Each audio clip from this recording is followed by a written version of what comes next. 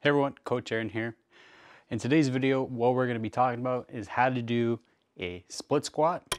So basically all you're gonna do is take one stance here. So we're not moving these feet, we're just gonna basically stagger them and keep them planted in the position that we want. And all you're gonna do is keep an upright posture as much as possible. And you're just gonna bring your back knee down to the floor. So just like this, and then back up. Okay? And that's how you do a split squat. If you have any questions, comment down below. If you like the video, give it a thumbs up. Other than that, catch you guys next time.